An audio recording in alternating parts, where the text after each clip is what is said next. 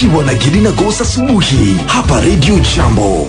Ni saa mbili na dakika 33. Kipindi kama kawaida ni Gidi na Ghost asubuhi, msikilizaji, na tunaendelea na patanisho hapa, ambapo sasa hivi ningependa tumpigie simu uh, patanisho ama tuchague patanisho nyingine, kwa sababu ule wa kwanza uh, simu yake mzima.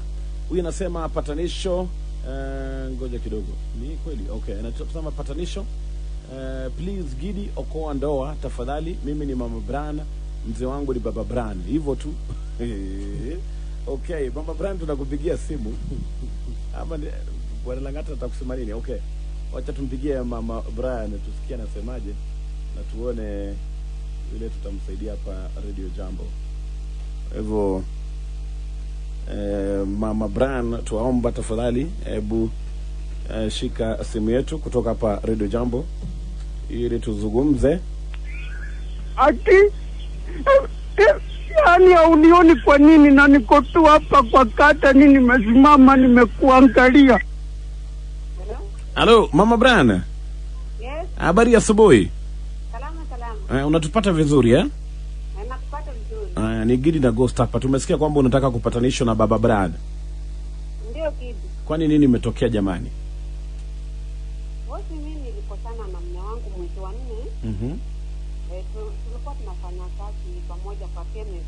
Tumefungua chemist yetu. Mmefungua chemist nyinyi wawili. Eh, Mhm. sasa kuna siku nimeenda pale nikampata ameketi na mwanamke. Ehe, kwa chemist. Ya.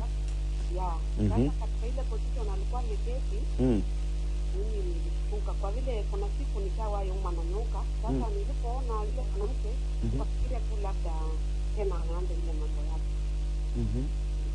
sasa usiku alipokuja kwa nyumba zake sasa yote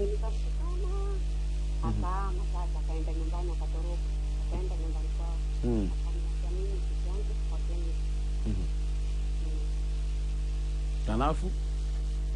Alafu? Ndio kutoka huo huo mwezi mpaka saa hii hatuko pamoja kila mtu ana kazi yake alienda nyumbani na akafungua kemesi yake sasa mimi niko mbali na yeye iko mbali kwa ufupi hatukai pamoja mm.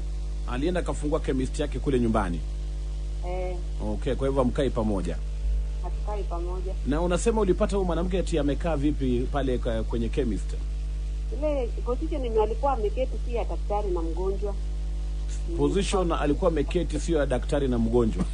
ya ile nini kuna distance ya mgonjwa na daktari huwa wanaketi Mm. ambapo ukija pale unajua tu ni mgonjwa na kama si mgonjwa tena unajua hii si mgonjwa Huyu alikuwa ameketi namna alikuwa amemkalia juu ama namna gani? no they were very close to each other if kuna kitu wanashare na Oh. mgonjwa na daktari huwa wanaketi distance Mwezi huwezi kuruhusu daktari na mgonjwa kaka ile distance ambao wako very close to each other Oh, they were very close. Ukashuku kwamba huyu hapa kuna kitu inaendelea.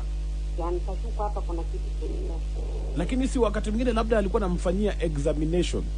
Hapana examination nani kidi Hmm. examination mimi najua examination inawezafanyika hata mimi Mm. wakati niko pale tuseme kama mail customer client amekuja pale mm -hmm. huwa nazisimu napeana ile distance kati ya customer na mgonjwa ambapo hata mzee wangu akiingia pale atajua kweli huyu ni customer hata kama ni examination anajua kweli nafanya examination lakini ile distance walikuwa wameketi nani kidi Mm. hata kama ni wewe mpaka ushtuka Unajua tu hapa hii si hii si mgonjwa na daktari. Huyu ni- wana, wanatibu mambo mengine. mm. Okay. Kwa hivyo uh, na umewahi kuongea naye tangu aende kule nyumbani na akafungua chemist yake kule? ndani hata mimi huwa naenda tunaongea akitaka kusalimia mtoto huwa anampiga simu anasalimiana lakini sasa kurudiani kipolisi ananiambia nimpe muda sasa sijui kutoka mwezi wa nne nitampa muda wa miaka mingapi Mm. Na ndio maana leo umesema ungependa labda tuzungumza naye ili tuone kama mtarudiana eh? Eh, ningeomba mzungumze naye kwa vile ni mhaji sana hata kuzungumza naye ukifaulu hiyo kidi mpaka nikununulie soda Nikifaulu unaninunulia soda. na ni mtu mwingine very yani sidhani lakini ukifaulu kidi soda yangu mpaka ukunywe Mm. mm. Okay, soda nao unaweza kunywa hata kabla nikupatanishe, lakini wacha tujaribu eh? Haya basi, ushikili hapo. Umekaa kwa ndoa kwa muda gani? Mwaka wangu wa tano na yeye Mwaka wa tano eh? Okay, na mna watoto? Na mtoto mmoja Okay, na wewe una miaka mingapi? naelekea 35 years 35 na yeye sahii 41 41 eh? Okay, shikilia hapo kidogo, usikate simu, tunampigia simu sasa hivi eh. Halo, unanipata mama Brian? nakupata vizuri sana Haya, usikate simu. Okay, mama Brian ameshajieleza pale, anasema aligu, alipata mume wake eh, pale katika chemist yao, na anasema uhusiano wake na huyo mwanamke vile aliwaona haikuwa eh, vile walikuwa wameketi haikuwa ya daktari na, patient. patient. Huwa inafaa kuwa namna gani bwana Ghost vile daktari na patient mm, wakati anashughulikia nini? wajua kama unapata labda wewe ni patient Wewe ni mgonjwa eh. wewe ni mgonjwa unaumwa kuna distance yako na daktari mm-hmm. hata akikuoja na kuoji mbali unless anakupima na thermometer Mm. ama ile stethoscope basi hapo ndio unaweza kuwa unamkaribia lakini mambo mengine kama hakuna stethoscope mm -hmm. nafikiri unakaa mbali Lakini huyu mama alijuaje? Kwa sababu wakati daktari anakufanyia close examination, unajua examination lazima labda anaguzaguza mwili wako jamani. hapa gidi yeah, ukisikia- kujua kama ugonjwa uko huko kama juu. mama amesema hivi bana Eh, eh. Ah, nafikiri kuna kitu aliona ambacho sika- si, si cha kawaida na yeye pia mwenyewe ni kama daktari kwa hivyo kuna kitu ameona hapo hapana Bwana Gosmli, kuna magonjwa mengine inaweza kuwa mali popote bwana Ghost bana. Kwa matiti huku Ah, chini. hapana, Unaangalia unafanya unafinya finya uangalie kama iko wapi. Ati unafinya Kusema kweli. Halo mama Brian. yeah. Eh, eh, mzee tumempigia ndio ameshika ndio simu yake imeingia mara ya kwanza eh? mm. na eh, kidogo ikakatika tena mm. alafu kisha sasa hivi tunampigia simu mm. na ime amezima ni kama amezima sasa mjaribu sasa network problem unafikiri kwamba ni mambo ya network ha? problem okay haya wacha tu, wacha ni- nimpigie na namba ingine kwa sababu naona namba nimepewa namba ingine tena eh? okay, O, o, shikilia hapo kidogo. Nime bwana Lang'ata amenipatia namba nyingine tena ambayo naweza tumia kumpigia. Kwa hivyo msikilizaji, eh, tunajaribu kumpigia na nambari nyingine tena hapa eh, tuone kama tutampata kwa hii nambari, lakini kama ya kwanza inalia na sasa imezimwa, hii ndiyo atashika jamani eh? Sababu ingekuwa ni mambo ya network nao ungesema kwamba ah, tutafute nyingine, lakini kama ya kwanza kushika niliingia, lakini acha tujaribu tu, kwa sababu unajua hapa ni kujaribu. Kwa Bwana Brian, baba Brian, nampigia tena nambari ya pili. Hiyo Milia Milia tena. Hello. Halo baba Brian, Naam, habari ya asubuhi ndugu yangu. nzuri sana. Eh, mimi naitwa Gidi Eh, na kupiga kutoka Radio Jambo. Si umewahi kusikiza Radio Jambo? Eh? Halo baba Brian. eh nakusikia. Eh, boy kusikiza Radio Jambo eh? Ah, Eh, sasa hapa Radio Jambo tuko na kitengo ambayo inaitwa patanisho. Mm. Huwa tunajaribu kuleta wawili ambao wamekosana waongee, wazungumze na kisha waweze kurudiana. okay. Eh, sasa kuna huyu mke wako ambaye ni mama Brian eh? Naam. alitutumia ujumbe akitueleza kama inawezekana tujaribu tuongee na wewe ili ili muweze kurudiana. Sijui nini ilitokea jamani, baba Brian. Ngoja sasa hii niko na patient na attend client hapa kidogo. Oh, uko na client eh? Uh, na na client hapa na mwattend kidogo. Okay, Ita, itachukua muda gani? Ah, like 5 minutes hivi. 5 minutes eh? Yeah. Kwa hivyo tukupigie baada ya dakika tano eh? Yeah, yeah. Okay, kata basi tu simu, kata tu simu. Ah, okay. Okay. Please enter the number you wish to call and then press the pound key. Okay.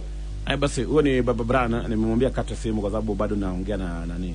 kuna mteja Please enter the number you wish to call and then press the pound key. Yeye ako na mteja lakini nilikuwa nataka bado niendelee kuongea na na Mama Brana. na mama Brana. Mama Brana. yes kid umesikia hiyo ni sauti ya mzee? ndio yake Eh, ametuambia ako na ako na patient Eh, patience. Ako na ako na mteja. ako na mteja mm, Kwa hivyo hawezi kuzungumza, kwa hivyo tunampigia baada ya dakika tano hivi eh.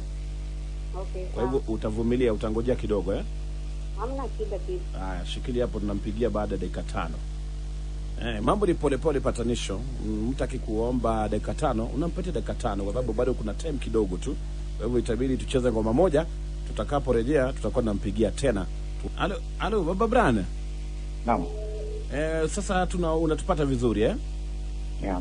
Sasa mke wako ametuomba tu, tumsaidie kuomba msamaha jamani, ili muweze kurudiana. Sasa sijui nini ilitokea mzee. Eh, mimi Eh, Uh-huh. aliniomba msamaha ehe. na mimi nilimsamehea. Oh, ulishamsamehe eh? Mimi nilimsamehea. It's only that mm. ile decision yenye nilimake Mm. I cannot change. Ah, okay. Yeah, like... Come again? Nasema Mm. msamehea, nilisamehe Mhm. Decision nilifanya Mm. siwezi. Ah, okay. Na decision ambayo uliamua pale ni kwamba amwezi rudiana ama mwezi ishi pamoja. Hatuwezi. Okay, kwa hivyo wewe ushaamua unaishi kivyako unaendelea na maisha yako. Yeah, na yeye wote pia akae. Oh, na yeye pia aendelee na maisha yake. Yeah. Okay. I told you her before, nilimwelezea. Mm. Oh, okay. Ni, muhimu sana uweze kueleza, lakini nafikiri kwamba ume, umeeleza vizuri, kwa hivyo nafaa nifaka na kusikiza sasa hivi. Mama mama Brane, Yes, kid. umesikia vile mzee anakuambia? Please enter the number you wish to call, and then press the pound key. Okay, amekata simu. amekata simu. Please enter the number you wish to call, and then press the pound key. Okay, mama Brana. Eh, mbona umecheka hapo? Kwa sababu nimesikia ukicheka hapo kidogo. Eh. Okay, amekata simu na nimesikia hapa akisema kwamba tayari alikuwa shakwambia kwamba amekusamehe, lakini uamuzi wake hawezi badilisha. Mm. Mm.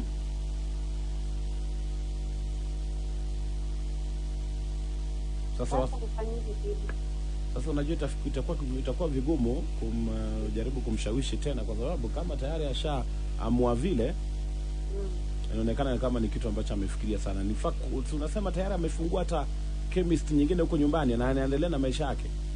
Na chemist amefungua ambapo pia hata nikienda kule saa zingine huwa anamuuzia pale ndani kama ako fiti nyumbani. Mm. Basi itabidi basi labda uendelee kuzungumza naye polepole hadi siku ile ataamua kubadilisha msimamo, kwa sababu vile amezungumza na kakata simu yetu, Mm. itakuwa vyema kumpigia tena. Okay. Mm, ni kama tayari ashachukua amuzi Kwa hivyo kile nitafanya, nitapatia na jambo nafasi ya kupatia ushauri. Na umesema shida ilikuwa tu ni wewe kumshuku ama wewe kumwambia kuhusu uhusiano wake na wale na yule mwanadada ambaye ulikuwa unahisi kwamba wana uhusiano pale katika hospitali ama katika chemist. Ili yule mwanamke kumshuku pale, wajua mm. mwanzo Mm. mbeleni, kama niko na mimba ya mtoto wangu, mm-hmm. alipata mtoto nje ya ndoa. Nani? Yule mke wangu Mume wako? Yeye alizaa mtoto na bibi mwingine ambaye bibi alikuwa bibi wa mtu. Aya. Sasa kutoka pale Mhm. ikawa simwamini. Mhm. Sasa nilipofika pale Ukeme, Mhm. kupata ile mwanzo, kuna watu walikuwa Kuna watu? watu nje waliponiona naingia pale chemist nao wakashtuka kule hivi Mm. wakapaniki yani waliponio waliponiona Mhm. sasa mimi napo nilipoingia pale ndani mke mzee wangu naye tena akashtuka na hata yule mwanamke akashtuka akashtuka yule mwenye alikuwa amezidi naye. Nikamuuliza "Ah, shida ni nini? Mimi nimepitia tu nisaidie na pesa za kununua mboga. Mm. ndio nilipoanza kufika pale kidogo tuna yule mwanamke naye akatoka mbio nikamwona anapanda kwa pikipiki akatoka akatoka. Sasa Mm. sikutaka kelele pale kazini. Mhm. nikamngojea mpaka nyumbani ndio tukaanza vita sasa. Kwa following day akaamua na akatoka akaenda nyumbani Mm. mm. Okay, kwa hivyo unahisi kwamba huyu alikuwa mpango wake wa kando ama alikuwa na uhusiano? Na kwa nini walikuwa wafanye tu mambo yao pale kwa chemist? walikuwa wameketi Walikuwa wameketi. eh, Kwa hivyo si ati walikuwa wanafanya jambo fulani. hawakuwa wameketi wanafanya jambo fulani lakini ile position yenye alikuwa ameketi nayo sidi hata wewe ungekuta Hii position ilikuwa position gani? Kwa sababu najaribu ku, ku, kuangalia. Kufikiria. Eh? ilipopotishwa nani, were very close, watu ni mtu na bibi yake, yani wanaketi, si mambo ya customer na doctor, si client na doctor. Kwa hivyo unaweza jua vile client na doctor wanasimama ama wanaketi, yeah, lakini yao ilikuwa tofauti, yao ilikuwa tofauti. Okay, haya basi, wacha nipatie una jambo nafasi wa kupatia ushauri mm. na tuone mambo itakuwa vipi, sawa? Asante sana kwa kuleta patanisho eh?